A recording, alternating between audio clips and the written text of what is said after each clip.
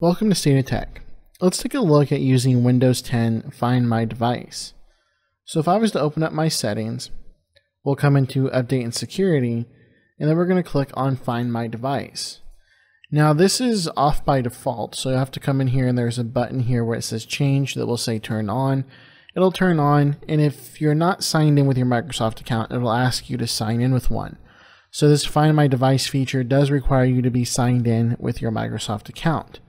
But what's really nice about this is if you lost your device or you feel like it's been stolen, Windows 10 will periodically, with this turned on, send your location to Microsoft so that way you can keep track of where it's at.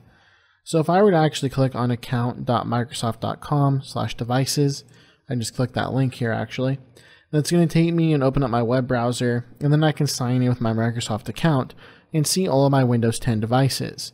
So we're going to sign in and we'll jump into the next screen. So now that I'm signed in with my Microsoft account, I can see a list of all of my devices. So these are the devices I've signed in with my Microsoft account. I can come in, I see the name of the actual computer or device. And what I can do is remove this PC, remove my laptop, get support. But what we're really worried about is the find my device.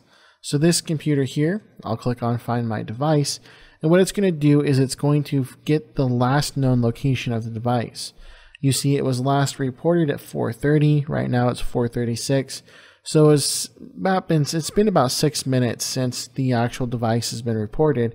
It hasn't moved, but you can see that there is a little bit of latency here. So it, it's very periodic. It happens every so often. I don't know the exact amount of time, but you can see between this one and now there's been a six minute discrepancy. So for I know for now this device is here, but at least this would give you a good starting point if you couldn't find your device and you feel like it was either lost or stolen. This would give you a good starting point.